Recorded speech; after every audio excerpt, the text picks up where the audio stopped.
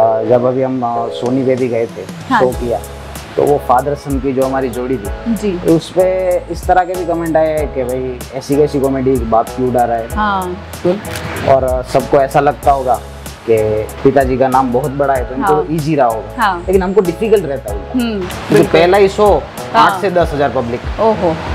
अभी उनके सामने मैं पहली बार परफॉर्म कर रहा हूँ। जी। कपिल शर्मा हाँ। जिनकी कॉमेडी टाइमिंग मुझे बहुत पसंद जी है। हाँ और हम जहाँ से हैं कच्छ। हाँ। कच्छ में तो मेरे ख्याल से हर दूसरे आदमी के पास कुछ ना कुछ कॉमेडी हो गई। क्योंकि आदमी ऐसे हैं सब। अच्छा। एकदम जिसे गुजराती में कहते हैं मोजीले। हाँ। कॉमेडी कंटेंट होते हैं हमारे सबसे हाँ। कॉमेडी कंटेंट में मुझे इतना आइडिया नहीं रहता है। हाँ। तो ऑफ़ कोर्स वाले। पब्लिक को पसंद है तो वो मैं ट्राई करती हूँ और मुझे भी ऑडियंस सभी जख्मी दिल मेरी फैमिली ने मुझे सामने से बोला ओके कि तू इसमें आईडी वगैरह बना आ, हाँ। और तू स्टार्ट कर आप अगर स्टार्ट करते हो हम्म। सोचना कि लोग क्या बोलेंगे बहुत मैं मैं सच बता रही हूँ गालियाँ भी देंगे जी वो भी कमेंट में देंगे लेकिन हाँ। आप डीमोटिवेट नहीं होना है किसी भी हम्म। चीज़ से वेलकम दोस्तों मैं स्वाति शर्मा, स्वागत करती हूँ आपका क्रिएटिव कास्ट पॉडकास्ट में। An initiative by creative angle जहाँ हम आपको मिलवाएँगे अलग अलग फ़ील्ड की सक्सेसफुल पर्सनालिटीज़ से। जानेंगे उनकी इंस्पायरिंग स्टोरीज करेंगे उनसे इंटेलेक्चुअल बातें, जो आपको नॉलेज के साथ साथ एक वंडरफुल एक्सपीरियंस भी देंगी, जिससे आप कहीं ना कहीं अपने आप को कनेक्ट कर पाएँगे। आई होप आपको हमारा ये इनिशिएटिव पसंद आए। तो चलिए शुरू करते हैं। Episode is sponsored by Shri's Wood Mall Gandhidham. And please don't forget to like, share, comment, follow, and subscribe our channel Creative Angle and keep spreading love. नमस्ते दोस्तों।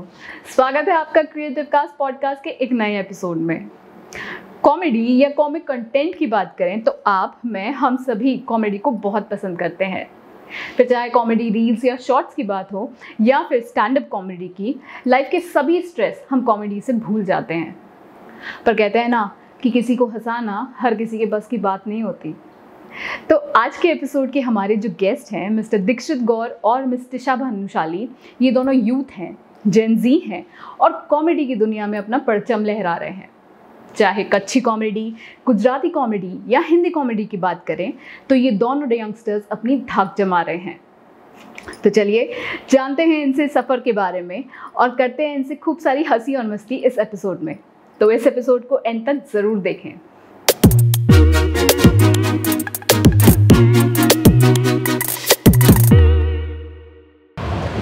नमस्ते दोस्तों क्रिएटिव कास्ट पॉडकास्ट के एक नए एपिसोड में आपका स्वागत है। वो गाना तो आपने ज़रूर सुना होगा। किसी की मुस्कुराहटों पे हो निसार, किसी का दर्द मिल सके तो ले उधार, किसी के वास्ते हो तेरे दिल में प्यार। जीना इसी का नाम है। जी, बिल्कुल। इसी को तो जीना कहते हैं। जहाँ पे लोग अपनी कला से लोगों का दिल जीत लेते हैं, लोगों को दो पल की खुशी देते हैं। और मानिए, आज की इस भागदौड़ भरी ज़िंदगी में दो पल की खुशी मिलना, ऐसा लगता है मानो आपने ज़िंदगी जी ली। और आज के इसी एपिसोड में हमारे साथ हँसी के कुछ छोटे बड़े किस्से शेयर करने आए हैं। Mister Dikshit Maharaj and miss Resha Bhanushali. तो दीक्षित महाराज कच्छी गुजराती और हिंदी कॉमेडी के बड़े फनकार, मिस्टर रसिक महाराज जी के सुपुत्र हैं। रसिक जी ने कई कॉमेडी शोज़ किए हैं और रिसेंटली हाल ही में उन्होंने सेट इंडिया चैनल के लाफ्टर चैलेंज में भी पार्टिसिपेट किया था। दीक्षित भी उन्हीं के साथ उस शो में हिस्सा बने थे। तिशा एक एक्टिव इंस्टाग्राम कंटेंट क्रिएटर हैं और दीक्षित और रसिक जी के साथ में कंटेंट क्रिएशन में हिस्सेदार हैं। साथ ही साथ तिशा मॉडलिंग में भी अपना करियर बना रही हैं। तो चलिए उनसे बातों का सिलसिला शुरू करते हैं। Welcome Dikshit welcome Tisha. Okay Dikshit सबसे पहला सवाल मेरा आपसे ये है कि अ, आप इतने अच्छे कॉमेडी वीडियोस बनाते हैं इतने अच्छा कंटेंट क्रिएट करते हैं चाहे वो कच्छी में हो चाहे वो गुजराती में हो चाहे वो हिंदी लैंग्वेज में हो। ठीक है डेफिनेटली ये कॉमेडी इनहेरिट कहीं ना कहीं आपने अपने पापा से की है। तो अ, हम ये जानना चाहेंगे कि इसके पीछे की बैकग्राउंड स्टोरी क्या है, कब आप में स्पार्क जगी कि भाई मुझे भी कॉमेडी में अपना करियर बनाना है? साथ ही साथ ऐसा अक्सर बोला जाता है एक्चुअली कॉमेडियंस के लिए कि हास्य कलाकार अक्सर वो कलाकार होते हैं जो, जिन्होंने लाइफ के हर पहलू को देखा होता है।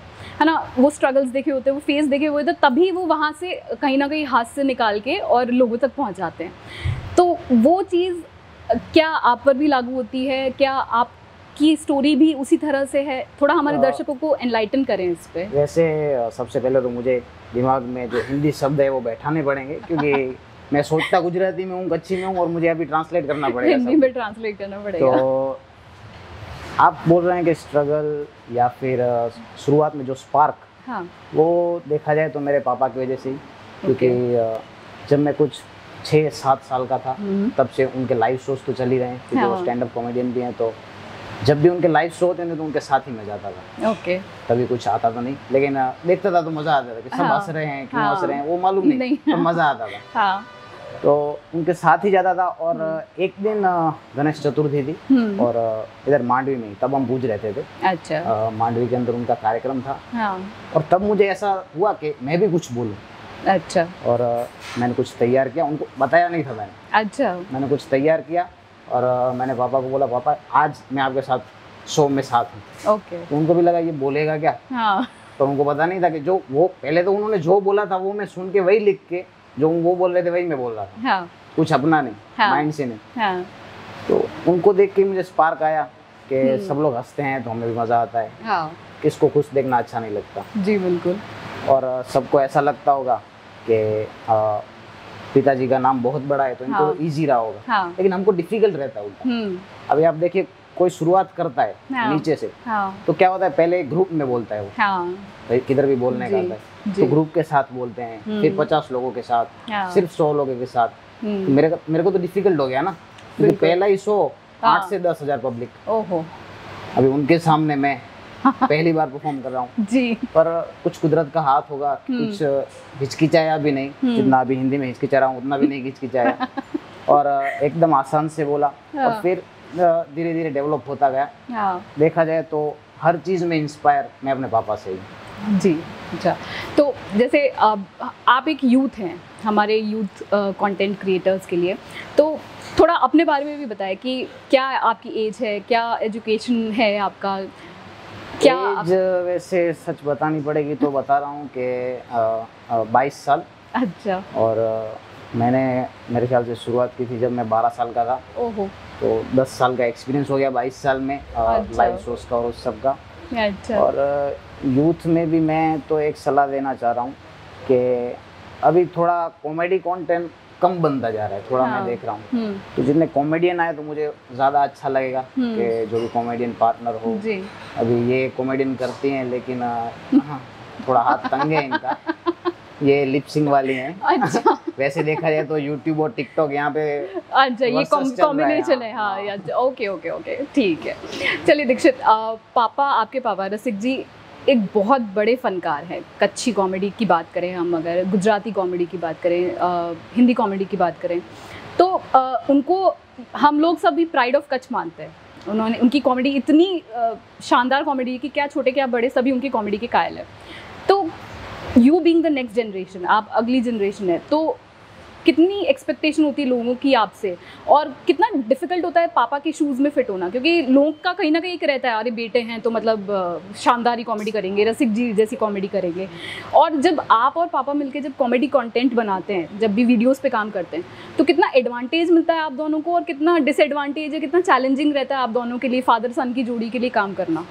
तो पहली बात तो जो आपने कहा कि पापा के शूज़ में फिट आना हो। हाँ। तो वो डिफ़िकल्ट तो है। हम्म। क्योंकि मेरे ख्याल से वो शो कर रहे हैं उनको हो गए तीस पैंतीस साल। तो वो एक्सपीरियंस भी है। हाँ। और तभी माहौल भी अलग था। हाँ। पब्लिक को कुछ अलग चाहिए। अलग चाहिए और आजकल पब्लिक थोड़ा सेफ़ कंटेंट देख रही है। जी। जैसे कि वुमन एम्पावरमेंट आप हाँ। लड़की किस पे बोलोगे तो भी नहीं चलेगा। जी जी। बॉडी शेमिंग नहीं चलेगी। अभी मोटे को मोटा भी नहीं बोल सकते। नहीं बोल सकते। सही बात तो है। अ, थोड़ी लिमिट भी आ गई है तो वो भी देखना पड़ता है। हाँ। और रही उनकी बात तो मैं तो नहीं मान सकता कि हाँ। उनको मैं बीट कर पाऊँ। तो हम्म। मेरी ऐसी इच्छा भी इच्छा भी नहीं है। क्योंकि उनकी पोजीशन अलग है मेरी हम्म। पोजीशन अलग है।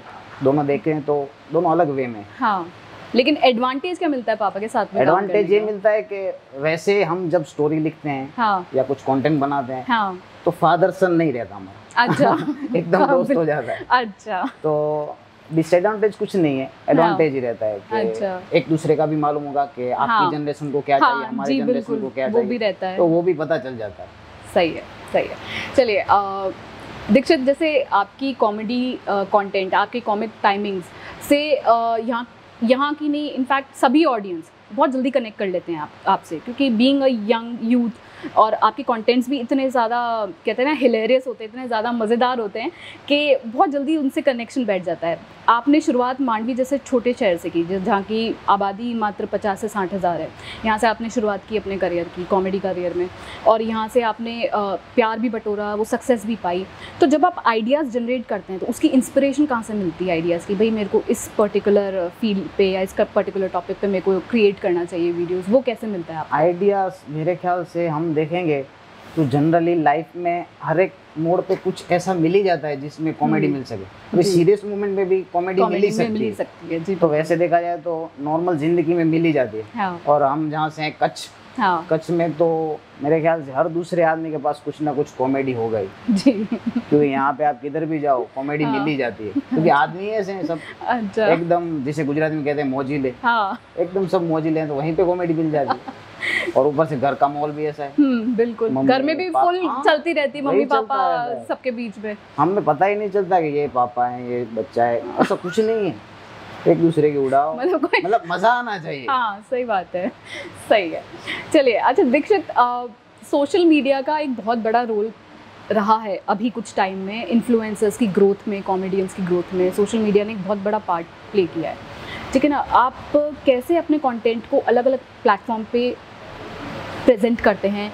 आप जब अपना कंटेंट बनाते हैं तो उस समय क्या सोचते हैं कि भाई मेरा कंटेंट फ्रेश भी रहे साथ साथ में ट्रेंडिंग भी रहे साथ साथ में रीच भी मिले मेरे कंटेंट को और मेरे कॉमिक स्टाइल को भी सूट करता रहे? ये कैसा करते हैं आप? मतलब जैसे रील का और वो हम देखें हम्म, तो स्टार्टिंग में मैं देखता था कि ट्रेंडिंग क्या चल रहा है। हम्म, पर वो एक्सेप्ट नहीं कर रही थी पब्लिक हम्म, ट्रेंडिंग में मैं थोड़ा कम मैच हो रहा था. मैंने देखा।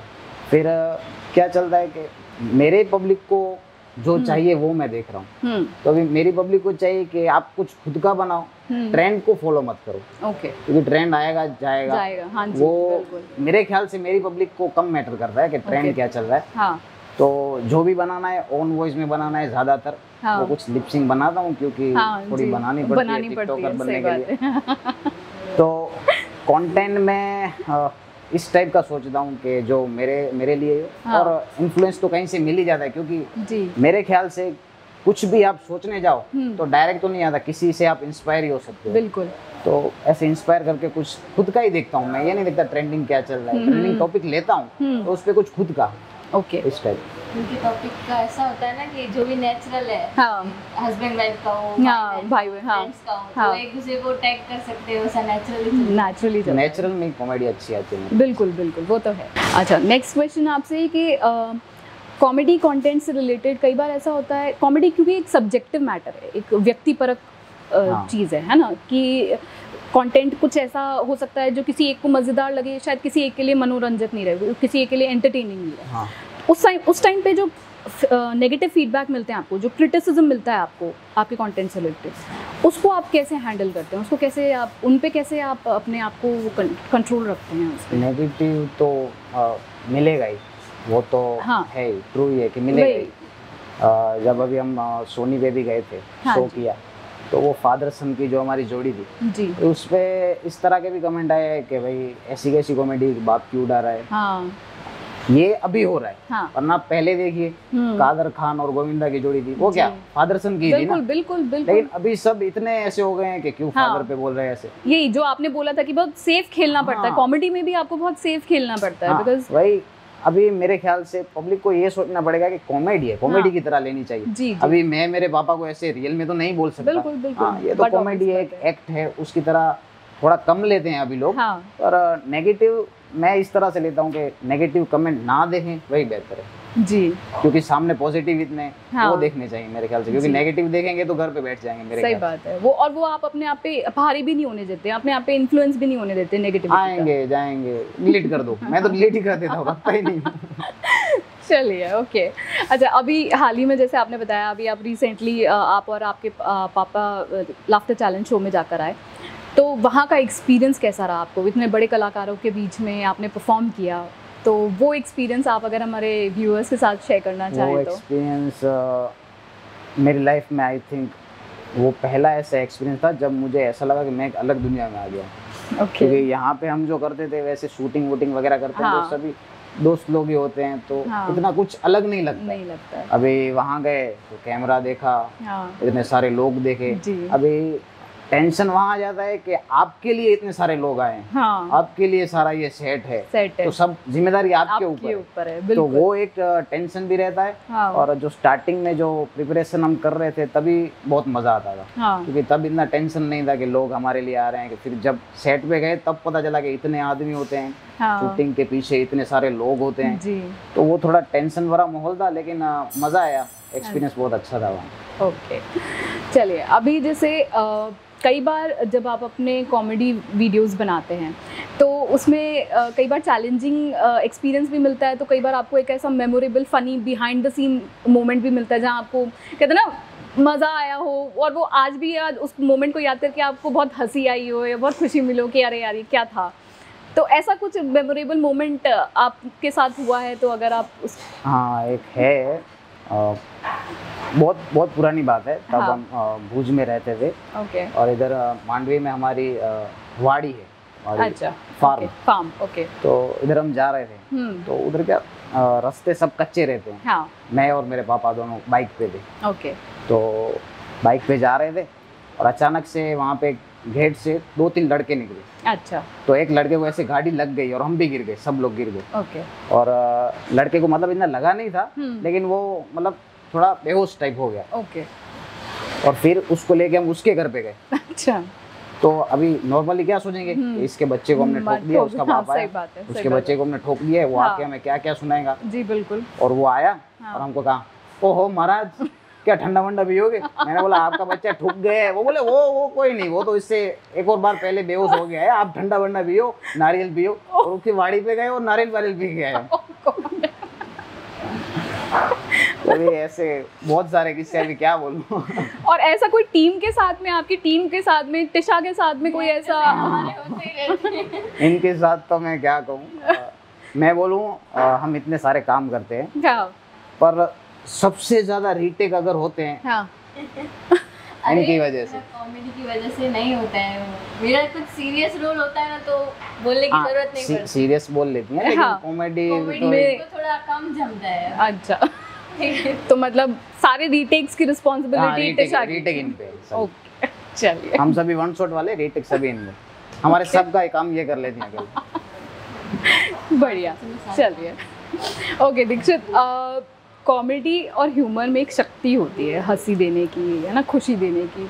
साथ ही साथ ये एक मंच भी है जहाँ पर हम सामाजिक मुद्दों को उजागर कर सकते हैं। कहते हैं ना सोशल इश्यूज़ को हम एक वॉइस दे सकते हैं कॉमेडी के थ्रू। तो क्या आप अपने कंटेंट्स में ऐसा कोई हाइलाइट्स करते हैं ऐसे इश्यूज़ को सोशल इश्यूज़ को? या इन फ्यूचर आप कभी ऐसा कोई रखेंगे अपने दिमाग में कि भाई ऐसे कोई व्यूज़ को हमें रखना चाहिए बनाना चाहिए इस पर मेरे ख्याल से कॉमेडी एक ऐसा जॉनर है कि इसके अंदर ये पॉलिटिक्स या कोई भी ऐसा आप टॉपिक बोल रहे हैं वो ना आए तो बेहतर है। आ, लेकिन फ्यूचर में अ, मुझे लगता है कि इतनी मेरे पास ऑडियंस हो जाएगी हम्म। कि मेरे कुछ कहने पे कुछ हम्म। बदलाव आ सकता है। हम्म। तो ज़रूर करेंगे। जैसे होता है कई बार जैसे कॉमेडियंस होते हैं जो पॉलिटिकल इश्यूज़ या कोई ऐसे इश्यूज़ को भी एक ह्यूमन टच देकर हाँ। उसमें कहीं ना कहीं कोई मैसेज दे ही देते हैं। तो क्या ऐसा आपने अपने दिमाग में रखा है या कुछ ऐसे आपने वीडियोस कभी पहले बनाए हैं जहाँ पे आपने ऐसा कोई सोशल मैसेज दिया हो? आपने या हाँ। पापा ने मिलके कोई ऐसा सोशल मैसेज दिया? ऐसा मैसेज मतलब अ, कोई भी जनरल कोई प्रॉब्लम हो तो उस पर बनाना पड़ता है। हाँ। लेकिन ज़्यादातर मैं अवॉइड करता हूँ क्योंकि मेरे ख्याल से थोड़ा एक्सपीरियंस और मुझे बढ़ जाए। उसके बाद अभी बात करनी होगी हाँ। तो ठीक लगेगा लेकिन अभी थोड़ा जी चलिए बढ़िया। ओके तो अभी जैसे कॉमेडी और इन्फ्लुएंसर स्पेस में आजकल बहुत तोड़ कंपटीशन चल रहा है। बहुत ही ज़्यादा आप देख ही रहे हैं। तो आप अपने आप को बाकी क्रिएटर्स से कितना यूनिक कितना अलग मानते हैं कितना यूनिक कितना अलग क्योंकि सभी के पास एक अलग अलग टैलेंट है कॉमेडी के अंदर भी बहुत सारे हम्म, अलग अलग आते हैं हम्म। क्योंकि कॉमेडी में बहुत अलग अलग जै, जैसे कि फ़िज़िकल कॉमेडी भी होती है गिर हम्म। के स्लैपस्टिक जिसे बोलते हैं हाँ हाँ गिर के हाँ। तो मेरा उस टाइप का भी है। मेरे पास सभी कॉम्बिनेशन मिलेंगे आपको। हाँ। तो मेरे ख्याल से वो एक मुझे यूनिक टच देता है। हाँ। और बाकी पर्सनैलिटी अलग है तो सबसे अलग ही होगा। जी बिल्कुल। ओके ओके हास्य का इतिहास काफ़ी लंबा और काफ़ी समृद्ध रहा है है ना? और हमारे कहीं ना कहीं हास्य नायक कॉमेडी हीरोज़ रहे हैं। ठीक है आपके भी रहे होंगे आपके भी रहे होंगे।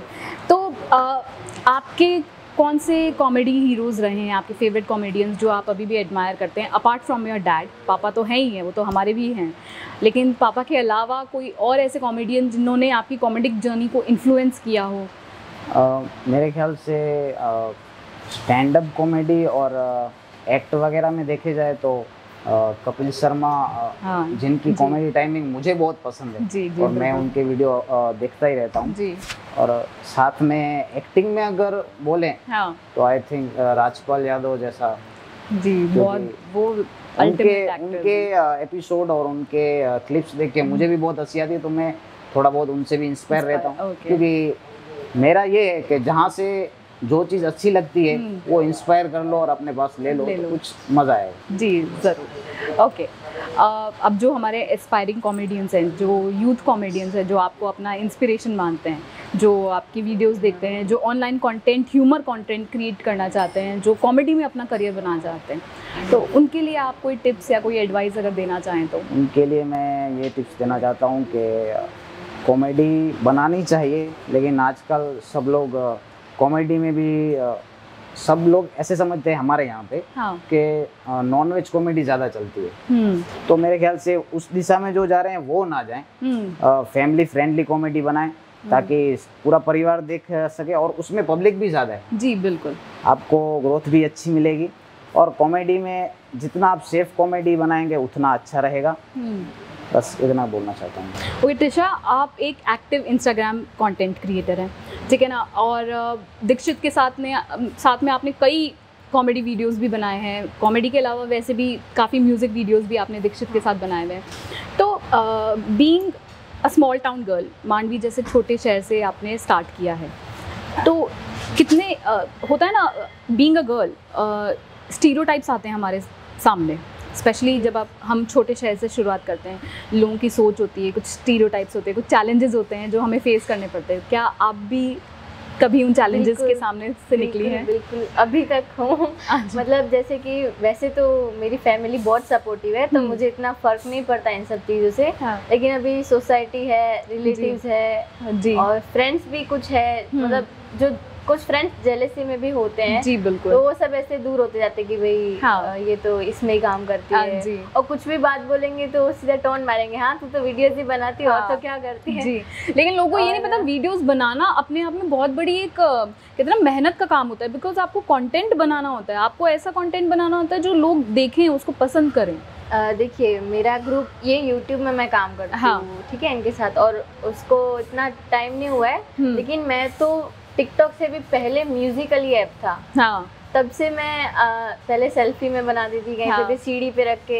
हाँ। कहीं भी पर बाल खुले होते थे तो मेरे को वो फ़िल्टर का ऐसा होता था। हाँ। फ़िल्टर भी नहीं था पहले मैं हाँ, ऐसे ही हाँ, बनाती बनाते थी थे, तो हाँ। अभी तो वो भी आते हैं कि भाई हाँ, फ़िल्टर लगाती जी, है ये वो। लेकिन मैंने म्यूजिकली से स्टार्ट किया अ, शायद तब मैं सिक्स या सेवन्थ में थी। ओके और अभी मेरा कॉलेज का फ़र्स्ट ईयर है। ओके तो तब से मैं अकेली करती आ रही हूँ ओके तो मेरा कोई ऐसा ग्रुप वगैरह नहीं है ना ही हम्म। कोई पार्टनर वगैरह हाँ दीक्षित मारल के साथ तो अभी बनाते हैं तो हाँ। होता है कि नहीं हम दोनों साथ में कंटेंट करें कि क्या बनाना है क्या हाँ। नहीं पब्लिक को क्या पसंद आता है हाँ। लेकिन पहले तो मैं वो थी कि नहीं मेरे को जो अच्छा लगता है वो हाँ। मेरा शौक था एक जी, तो जी। इसलिए मैं बनाती थी तो जैसे जैसे पता चला कि इस पे व्यूज़ ज़्यादा आते हैं हाँ। कमेंट सबके पढ़ती थी कि हाँ। हाँ आपकी ये अच्छा लगता है गुजराती हाँ। अच्छा लगता है हाँ तो वैसे वैसे मुझे पब्लिक का थोड़ा सजेशन मिला तो हाँ। उस वजह से मेरे कंटेंट बनते हैं कि नहीं पब्लिक को क्या पसंद है ऐसे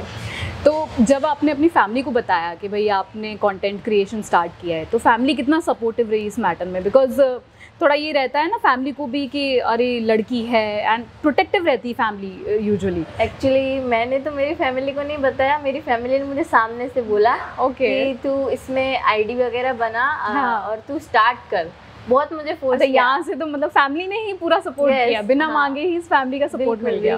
तो गॉड गिफ्ट है बहुत बढ़िया ये बहुत बड़ी बात हो जाती मम्मी पापा भाई हाँ। सब मेरे मामा मामी सब मतलब बोलो ना सब सपोर्टिव ही गए। उन्होंने फोर्स किया कि तू बना। हाँ. तेरा एक लुक वगैरह अच्छा है। हाँ। और लिपसिंग है और हाँ। तेरे को शौक भी है तो शौक की एक चीज़ अलग होती है कि अंदर से हो तो वो अच्छा हो जाता है। जी। तो तब से मैंने स्टार्ट कर दिए वीडियोस बनाना। ओके और फिर मॉडलिंग का भी सब जैसे बात होती है ना कि नहीं इसको हाँ हाँ करना हाँ है। हाँ।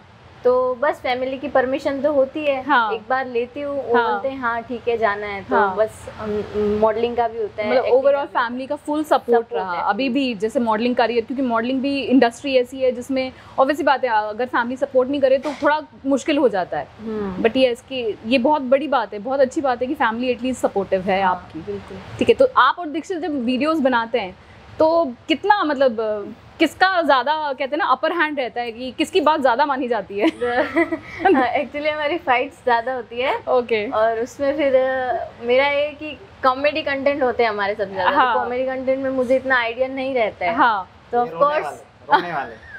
नहीं नहीं सब मिक्स होते हैं। वीडियोस देखो आप कॉमेडी सिर्फ़ मेरे साथ होगी बाकी ज़रूर, तो ज़रूर देखना। अच्छा। वही तो बोल रही हूँ ना पब्लिक को पसंद है तो वो मैं ट्राई करती हूँ मुझे भी ऑडियंस सभी जख्मी दिल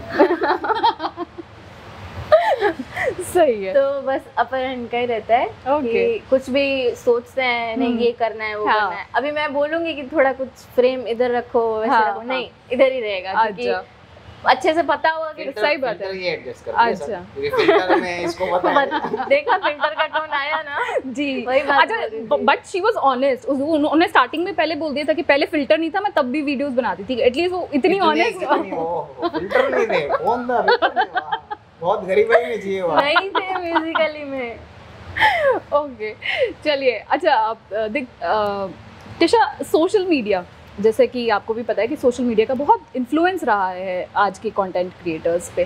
तो आप अपने कंटेंट को जब सोशल मीडिया प्लेटफॉर्म पे डालती हैं तो आप कैसे डिसाइड करती हैं कि भाई इस प्लेटफॉर्म पे ये चीज़ डालनी चाहिए? मेरा कंटेंट ऐसा होना चाहिए फ्रेश भी होना चाहिए ट्रेंडिंग भी होना चाहिए लोगों की रीच भी होनी चाहिए साथ साथ में आपका स्टाइल भी मेंटेन होना चाहिए। तो वो क्या थाट प्रोसेस लेकर चलती हैं आप? म- मेरे को तो बहुत अच्छा लगता है कि मैं ट्रेंडिंग पे चलूँ। जैसे हाँ। कि कुछ भी सॉन्ग आया या डायलॉग आया वगैरह कुछ भी आया मैं उस पर बनाऊँ हाँ। लेकिन मैं नहीं बना पाती हूँ क्योंकि मेरा घर का मैं एक मिडिल क्लास फैमिली से बिलोंग करती हूँ तो बाकी सब भी होता है। हाँ। तो मैं कभी लेट नाइट भी वीडियोस बनाती हूँ तो मेरा ट्रेंडिंग तो चला ही जाता है। हाँ। लेकिन ये होता है कि हाँ अभी कुछ नया सॉन्ग आया है तो ट्राई करूँ। हाँ। फिर अपलोड मैं कितने सारे बनाती हूँ और जैसे दस बनाए तो दस में से मैं सिर्फ़ चार ही अपलोड करती हूँ वो क्योंकि- का ऐसा ही होता है पंद्रह क्योंकि ये होता है कि नहीं वो ट्रेंड चला गया अब क्या बनाऊँ अब क्या अपलोड हाँ। करूँ ऐसे होता है फिर मैं हाँ। नहीं नहीं डालती नहीं हूँ फिर मैं और इस तरह का होता है मेरा कुछ ट्रेंडिंग वगैरह मन बना मन होता है कि बनाओ हाँ। लेकिन नहीं बना पाती तो बस जो गुजराती। सोच लो क्या बोल रहे मैं बोलना यही चाहती हूँ हाँ, कि जो मतलब- गुजराती फैमिली हाँ, हाँ। फॉलोअर्स है कच्ची फॉलोअर्स है हाँ। उनको अच्छा लगता है तो मैं ज़्यादातर गुजराती और कच्ची सॉन्ग में। बनाती हूँ। ओके अच्छा आपके कोई फेवरेट कॉमेडियन या कॉमेडी हीरो जो आपको बहुत इंस्पायर करते हैं जब आप देखते हो तो ऐसा कुछ? मुझे कपिल शर्मा का ही बहुत अच्छा लगता है कॉमेडी क्योंकि दीक्षित दीक्षित उदास हो रहे हैं। हाँ। में बैठा आप- बैठा वो तो आपका तो मैं नहीं। नहीं साथ में इंटरव्यू देने के बाद भी नहीं। ऐसे बोलते नहीं मुझे आपने- पसंद हो फिर भी बोलते हैं, आपने जैसे दीक्षित को बोला कि हाँ। आपके और रसिक महाराज के अलावा बोला था। हाँ। मुझे लगा कि मैं भी वही हाँ, बोलूँ। नहीं नहीं बिल्कुल इन दोनों ऑफ़ कोर्स इनकी बात ही तो नहीं हाँ, आती है सही बात ही पैदा चलिए ओके तो जो हमारे एस्पायरिंग कंटेंट क्रिएटर्स हैं जो आपको एज ए यूथ इंस्पिरेशन देखते हैं। उनके लिए आप क्या एडवाइस करना चाहेंगे कि वो जब अपना कंटेंट क्रिएट करते हैं तो किस तरह का कंटेंट क्रिएट करें कैसे क्रिएट करें? ऑनलाइन प्लेटफॉर्म जो कि अब ओपन है हर किसी के लिए। अपनी स्किल्स दर्शा सकते हैं। तो उनके लिए क्या टिप्स क्या गाइडिंग टिप्स क्या एडवाइस आप देना चाहेंगे?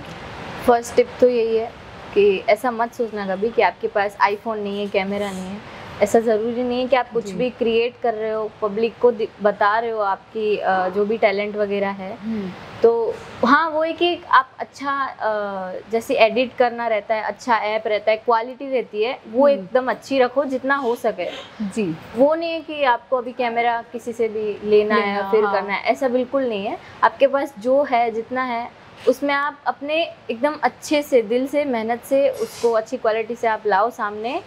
और ऐसे दिखाओ कि जैसे पब्लिक समझ सके उस चीज़ को कि हाँ। आप क्या करना चाहते हो अभी डांस वगैरह है तो वो चीज़ नहीं है समझने की लेकिन अभी जैसे कि मोटिवेशन के बहुत से आते हैं जी और रेसिपी वगैरह होता है हम्म। ऐसे बहुत सी चीज़ें हैं अभी प्रेजेंटेशन प्रेजेंटेशन अच्छी हाँ। होनी चाहिए और बस कॉन्फिडेंस लो नहीं होना चाहिए बस हम्म। कुछ भी हो जाए बाकी तो आप पर है पेशेंस पेशेंस भी रह चाहिए हाँ, पेशेंस भी चाहिए। रहे पेशेंस और कंसिस्टेंसी जितना ज़्यादा आप वीडियोस बनाएँगे जितना ज़्यादा आप रेगुलरिटी हाँ। रखेंगे अपने कंटेंट में उतना जल्दी मतलब पहुंचेगा लोगों क्या है अभी आप स्टार्ट किया है जितने को पब्लिक को पता चलेगा हाँ। वो वेट करेंगे कि अब क्या आया अब क्या आया अगर आप स्टॉप हो जाओगे तो फिर कितने होते हैं जो भाई ये तो मिड में हाँ सही बात है। मिड में कई बार छोड़ना पड़ता है हाँ एक्टिव रहना पड़ता है कुछ भी करके आप एक दो एक दो डाल दिया करो अपने अपलोड्स कर दिया करो हम्म। और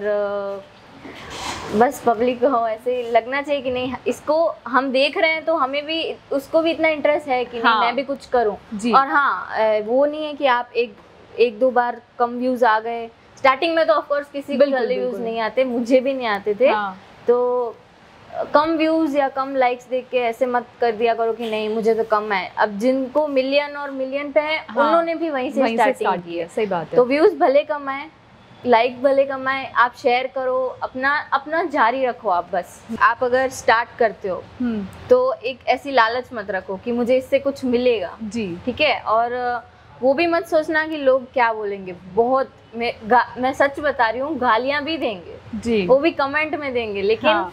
आपका आपको सारे ऑप्शन मिलते हैं। हम्म। आपको डीमोटिवेट नहीं होना है किसी भी हम्म। चीज़ से। आपको जिसमें अब बहुत सारे फ़ील्ड होते हैं किसी को डांस करना है किसी को स्टंट करना है किसी को लिपसिंग करनी है। जी। वो उन पर है बस एक अंदर से अपने शौक से करे बिना कुछ लालच के हम्म, और किसी के बोलने पे रुक ना जाए।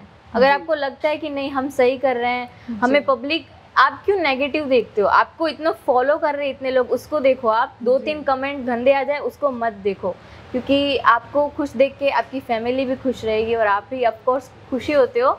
और इसमें बहुत सारे आगे मिलते हैं स्टेज आपको आपको भी अच्छा लगेगा कि अच्छा हुआ हमने स्टार्ट कर दिया हाँ। तब। वरना एक टाइम आता है कि यार पहले स्टार्ट कर देना था तो आज दिन नहीं आता। है। सही बात ऐसे है। होता है। तो बिना कुछ सोचे अपने शौक से खुशी से चालू कर देना बस। मोटिवेट खुद को ही मोटिवेट करते रहना। हम्म। बाकी किसी कंसिस्टेंसी मेंटेन रहेगी तभी कहीं ना कहीं आगे जाके कोई ऐसा टाइम आएगा जब आप के वीडियोस को लोग बहुत ज़्यादा पसंद करेंगे और वेट करेंगे कि अरे अब कब नेक्स्ट अपलोड हाँ, होगा आएगा। सही बात है। और, और आप नेगेटिव कमेंट्स नेगेटिज्म क्रिटिसिज्म कैसे फेस करती हैं आप? मैं तो वैसे मुझे कमेंट में ज़्यादा आते नहीं है लेकिन वो हम्म। होता है कि कुछ ऐसा गंदा लगे तो डिलीट करना पड़ता है हाँ। और। वैसे मेरी फैमिली चेक करती रहती है मेरे हम्म। अकाउंट भी वो मम्मी पापा मैनेज करते हैं हाँ तो उनको भी कहीं ऐसे खराब दिखता है तो डिलीट कर देते हैं हम्म। बाकी इतना सब अवॉइड होता है वो इतना हम्म। ध्यान नहीं देते हाँ लेकिन एक बार ये किस्सा हुआ था हाँ। टिकटॉक में अ, मेरे मिलियन हुए थे फॉलोअर्स ओके ठीक है वन मिलियन हुए थे तो वे सब पहले लाइव आते थे टिकटॉक में जी, तो जी, जी। मुझे तो वो हो रहा था नर्वस किया मेरे पास तो रिंग लाइट भी नहीं है हाँ। लाइट भी नहीं है। क्या बोलूँगी लाइव तो। क्या? फ़िल्टर नहीं है गंदी दिखूँगी। अब फ़िल्टर को साइड में रख। मेरी बोलने की बात यही है कि हाँ। मैं बोलूँगी क्या लाइव में आके हाँ, ऐसे? हाँ। तो मैं जैसे ही मैंने लाइव स्टार्ट किया तो बस वही गंद... कुछ कुछ कमेंट आए कि हाय हाँ, हेलो हाय हाँ। और सडनली मतलब सब मेरे फैमिली वाले बैठे देख रहे थे अपने हाँ। अपने फ़ोन में हम्म और अ, मैं बता नहीं सकती उस टाइम पे तो मैं रोई थी उसके बाद मैंने बोला कि मेरे को लाइव ही नहीं आना है हाँ और उस टाइम पे इतना गंदे गंदे जैसे इमोजीज होते हाँ। हैं हाँ। और बहुत ऐसे बोला था न्यूसेंस बहुत तो होता है कोई बात नहीं मैंने उस दिन तो लाइव कर लिया लेकिन हम्म। मैंने बोला अभी लाइव मैं नहीं आऊँगी ऐसा हो हम्म, रहा था। लेकिन मम्मी ने बोला कि। ऐसा नहीं है तू अच्छे अच्छे जो बोल रहे हैं तेरे को उनको देख तू। हाँ मतलब फोकस उसी पे रखना लेकिन फिर भी मैं लाइव नहीं आई उसके बाद। हाँ। अभी आई हूँ मैं दीक्षित महाराज और रसिक महाराज होते साथ में तो ही आती हूँ। मेरे को एक डर सा बैठ गया है कि मैं अब इनको कैसे फेस करूँगी लेकिन कर लेती हूँ। हाँ। लेकिन होता है कि नहीं छोड़ो यार लाइव आने से वो प्रॉब्लम होती हो। मुझे एक ऐसा होता है कि अगर हाँ। मुझे कोई कुछ बोल रहा है जी। तो मम्मी पापा देख रहे हैं। हाँ। कहीं ना कहीं उनको तो लगेगा ना कि यार ये ऐसे क्यों बोल रहे हैं? लेकिन अब अब नहीं सोचना है। अब आ जाऊँगी मैं लाइव मैं हाँ। कितने टाइम से सबको बोल रही हूँ मैं लाइव आऊँगी लाइव तो आप सारे व्यूवर्स आप वेट करिए। डेफिनेटली टिशा जल्द ही लाइव आएँगी। और प्लीज़ मैं खुद रिक्वेस्ट करूँगी कि प्लीज़ कोई नेगेटिव कमेंट इनके लाइव वीडियो में नहीं करें। ये उसूल है ना अगर आपको समझ जाना चाहिए कि अब आपके बारे में लोग बात कर रहे हैं हाँ। ऐसे वैसे। नेगेटिव बातें आएँगी तो समझ लो सक्सेस है। बिल्कुल ये एक हाँ ये डेफिनेटली ये उसूल है कि जहाँ नेगेटिव नेगेटिविटी है आपके बारे में आप लोग आप लोगों के बारे में कोई चार बातें कर रहे हैं यानी आप उनसे आगे हो। उनसे कुछ मैं बढ़कर लड़की हूँ। उस हिसाब से मेरे को कुछ ज़्यादा ये लग गया हाँ। लाइव वाला। अगर लड़का होता तो उसको कोई फ़र्क नहीं पड़ता। हाँ, वो तो है जो बोलना है बोलो। हाँ होता है। लड़कों को इतना कह रहे नहीं। होता है दोनों केसेस में होता है कि लड़के लड़कों को भी फ़र्क पड़ता है बट थिंग इज़ कि वो शो नहीं कर पाते हैं। हम लोग थोड़ा हाँ, जल्दी है। इफ़ेक्ट हो जाते हैं। वो लड़के लोग शायद इतना जल्दी इफ़ेक्ट नहीं हो पाते no doubt back of the mind उनके दिमाग में भी ये चलता आ रही यार ऐसा कैसा कमेंट डाल नहीं। मैंने देखा है बहुत हाँ। सारे लड़के वो कमेंट को हाईलाइट करके बोलते हैं हम्म। उसको सामने जवाब हाँ, दे देते जी, हैं जी, वो भी तीन चार गालियाँ बोल देते हैं जी लेकिन लड़की हो बीइंग अ गर्ल वो डिग्निटी हमारी सी हो जाती हो जाती है सही बात बाकी है ऐसा। चलिए thank you so much Dikshit and Tisha अ, आपने इतना अच्छा टाइम हमारे साथ निकाला इतनी सारी हमने बातें की इतने सारे किस्से शेयर किए। एंड वी रियली होप हमारी टीम की तरफ़ से हम आपको विशेष देते हैं। आप इसी तरह से हम लोगों को एंटरटेन करते रहें एंड होप आपको खूब सक्सेस मिले। इसी तरह से आपको प्यार मिलता रहे। Thank you so much